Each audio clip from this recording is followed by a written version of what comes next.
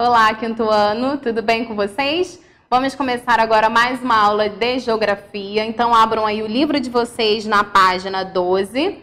Nós vimos na nossa última aula que a paisagem da região centro-oeste é marcada pela presença de planaltos e de planícies. Nós vimos a Chapada dos Guimarães na nossa última aula e hoje nós vamos conhecer um pouco mais sobre o Pantanal. Nós vamos ver agora a planície do Pantanal. Então, vamos observar esse mapa que tem aí no livro de vocês.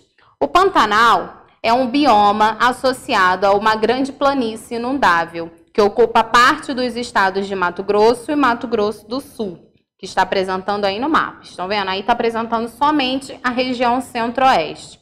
A planície do Pantanal é atravessada por muitos rios, que são essas linhas azuis do mapa. O principal deles é o Rio Paraguai. Essa área verde do mapa mostra aonde está localizada a planície do Pantanal. Então vamos voltar aqui para o livro. Embaixo aí do mapa, no livro de vocês, está falando sobre o ritmo das águas, sobre o Pantanal. A existência de períodos de cheias e de vazante marca a paisagem do Pantanal. Os períodos de cheia ocorrem principalmente entre os meses de novembro e fevereiro e são marcados pelas chuvas. Rios e lagoas transbordam e inundam a maior parte do Pantanal. Os períodos de vazante, que é quando a água do rio seca, né? São os de seca e ocorrem principalmente entre julho e agosto, quando as águas começam a baixar. Algumas áreas do Pantanal mantêm-se alagada permanentemente, pois as águas não conseguem escoar por causa da pouca inclinação do terreno, né? Porque a gente vê que o Planalto ele é um pouco mais plano. Aí embaixo tem é, o bumerangue. Está pedindo para vocês observarem novamente a unidade de abertura. E tem duas perguntinhas. Em sua opinião, a imagem retrata um período de cheia ou de vazante do Pantanal brasileiro? Essa é a imagem da unidade de abertura. Então pensem que eu vou querer que vocês me respondam no nosso encontro, tá? Segunda perguntinha: que características da paisagem sugerem isso? Sugerem se for um período de cheia ou se for um período de vazante. Pensem aí. Abaixo está falando sobre a flora, a flora e a fauna da planície do Pantanal. O Pantanal ele é formado por uma vegetação variada. Nele encontramos áreas de cerrado, de campos, de floresta tropical e de vegetação aquática. A fauna do Pantanal é constituída de várias espécies, como o tuiuiu, a jaguatirica, a onça pintada e o jacaré. A biodiversidade é, pantaneira atrai muitos visitantes e contribui para o desenvolvimento do turismo na região centro-oeste. Aí está mostrando a imagem de um tuiuiu ou jaburu, que é a ave símbolo do Pantanal. Mais embaixo está falando sobre os impactos ambientais no Pantanal. A expansão das cidades, o problema é sempre o mesmo, né, gente? A expansão da cidade da agropecuária, o uso indevido de agrotóxicos, a prática do garimpo e da mineração, a pesca e a caça predatórias e a construção de estradas e usinas hidrelétricas vem afetando o equilíbrio ecológico do Pantanal. Aí tem uma uma chavinha para a gente apertar aí, ó. O equilíbrio ecológico é situação de estabilidade das relações entre os diferentes elementos da natureza é quando é, as coisas estão em ordem, né? Essas atividades devastam a vegetação, expõem o solo à erosão e contaminam rios, além de colocar várias espécies em risco de extinção, de sumir. Você sabia? O grupo de ouro contamina rios da, do centro-oeste. Em diversos rios do centro-oeste se pratica o garimpo de ouro. O ouro fica misturado à lama do leito dos rios, para garimpar é preciso retirar a lama e separá-la do ouro. O mercúrio é uma substância tóxica que permite separar o ouro da lama, facilitando o trabalho dos garimpeiros. Após a separação do ouro, é comum que a lama contendo mercúrio seja devolvida aos rios sem os devidos cuidados, contaminando as águas e os peixes. Feio isso, hein? Então vamos às atividades. Questão número 1. Um. Observe as fotografias. A primeira fotografia está mostrando uma fazenda no Pantanal no período de cheia, ou seja, no período de chuva. no município de Paconé, no Mato Grosso. A segunda imagem está mostrando essa mesma fazenda num período de vazantes, ou seja, no período de seca. Uma imagem, a imagem de cima é no ano de 2018, a imagem de baixo é no ano de 2017. E aí está perguntando: que diferenças você percebe entre os dois momentos registrados? O que justifica essas diferenças? Questão número 2. O que, que você entende por equilíbrio ecológico? Letra A. De que forma as atividades humanas afetam esse equilíbrio?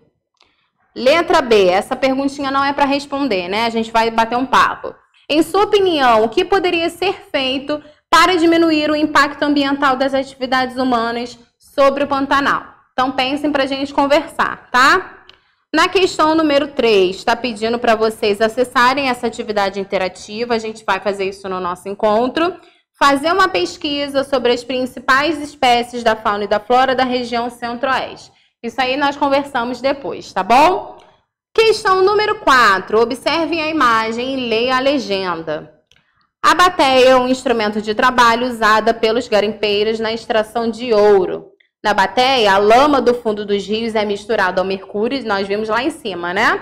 Permitindo a separação entre o ouro e outros sedimentos. O trabalhador segurando a bateia com ouro, é o que está mostrando a imagem, no município de Senador José Porfírio, no estado do Pará. E aí, a perguntinha. A prática do, do garimpo pode expor o garimpeiro e o meio ambiente a riscos? Por quê? Isso falou mais ou menos lá no Você Sabia, então pensem aí. E vamos para as últimas páginas, páginas 16 e 17, que está falando sobre a ocupação do território, né, da região centro-oeste. A região centro-oeste é a segunda maior região do país.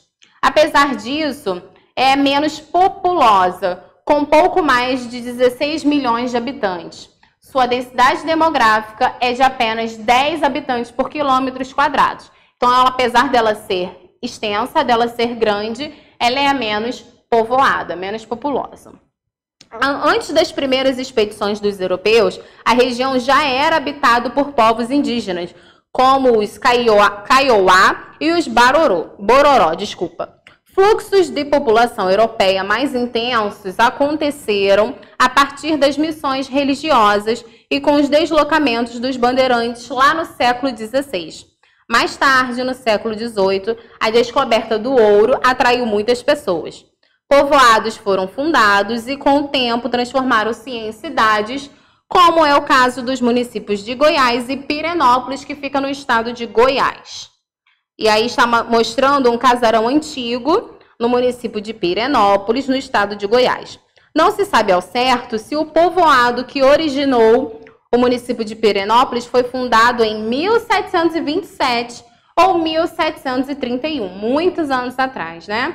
A fundação do município se relaciona à descoberta de ouro na região. A partir de 1960, as ações governamentais promoveram maior desenvolvimento de infraestruturas e transporte entre as regiões centro-oeste e as demais regiões do país.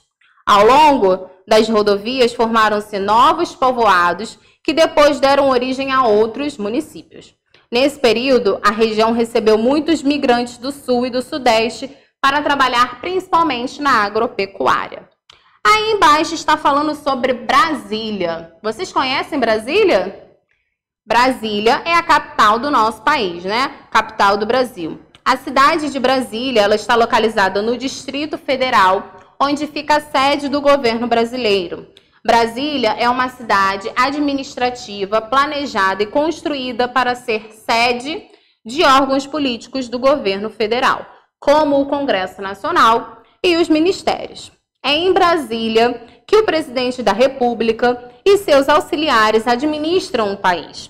A partir de 1957, a construção de Brasília promoveu um grande contingente de trabalhadores vindos de todas as partes do Brasil e incentivou a abertura de estradas que ligaram a região centro-oeste às demais regiões do país.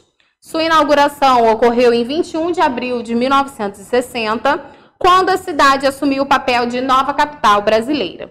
E aí está mostrando uma imagem ó, de um alojamento onde os trabalhadores ficavam durante a construção de Brasília. E aí, para finalizar, tem uma atividade no livro de vocês, que também não é uma atividade qualquer. Essa será a nossa atividade diversificada do terceiro bimestre.